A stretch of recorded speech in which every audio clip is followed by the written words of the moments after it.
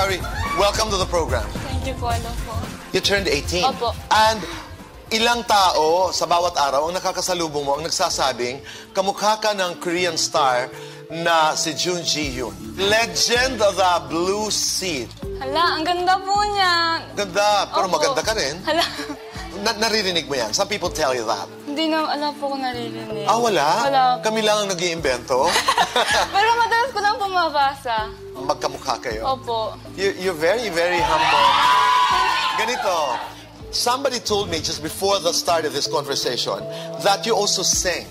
Sample naman doon sa Japanese song. Ay, sige po. Sige nga. これから始まるあなたの 物語ずっと長く道は続くよ虹色の雨降り注げば空は高鳴る Thank you. Anong ibig sabihin nun? Mag-umpisa na daw po.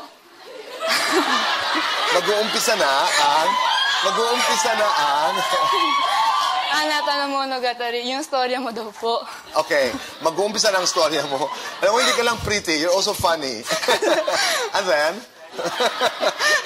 ずっと長く道を続く虹色のyung parang may kinalaman po siya sa rainbow. Rainbow po kasi ibig sabihin ng title. thank you for singing the song. Ayun po. Tonight with